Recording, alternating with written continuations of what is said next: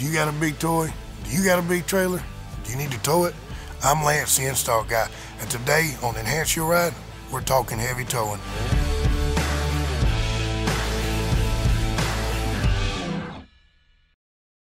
When it comes to heavy towing, it's not really defined, but in my personal opinion, there's three ways to get it done.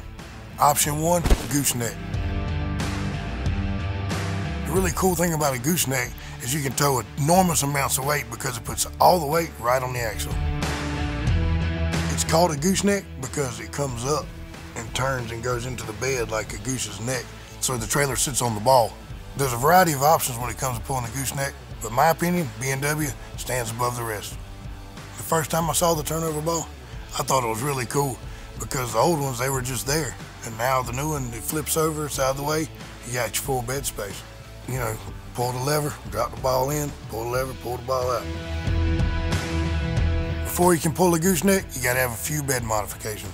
The gooseneck goes below the bed, and then you have to put a four inch hole in the bed for the head, for the ball to come through, and then you have to have four small holes where your safety chain hooks go. I mean, that's pretty much sums up a gooseneck. Option two, fifth wheel. It's pretty much the same thing as a gooseneck. The only difference is it puts the, the fifth wheel comes up higher. It allows you to tow campers.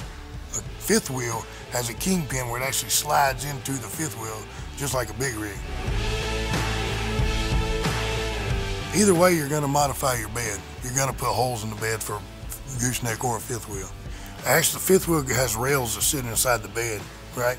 And they, they have plates that go on the side of the frame. You do drill holes in it, but you drill them through, you just drill small holes where you put your bolts in to hold the rails in place, and then your, fifth wheel has two more rails that come up, and then the head sits on that. If you need to tow something in your bed of your truck and you're not pulling your camper, you can just take the fifth wheel out. It just pins in and comes out. The rails will still be there, so you still got some obstruction in your bed. Option three, companion.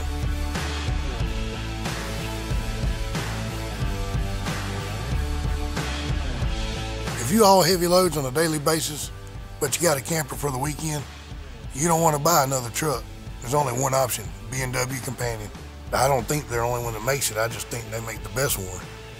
Uh, that's the only one we that we install. I've actually never seen anybody else make one. Companion's really simple. You pull the ball out of your gooseneck, the companion drops right down into it and latches with the same latch and you're done.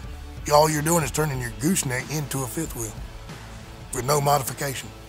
You have to have a gooseneck to uh, run a companion. But that's how you get the best of both worlds. You already got a gooseneck. The companion bolts together, sits over here on your shelf until you need it. You just drop it in and go.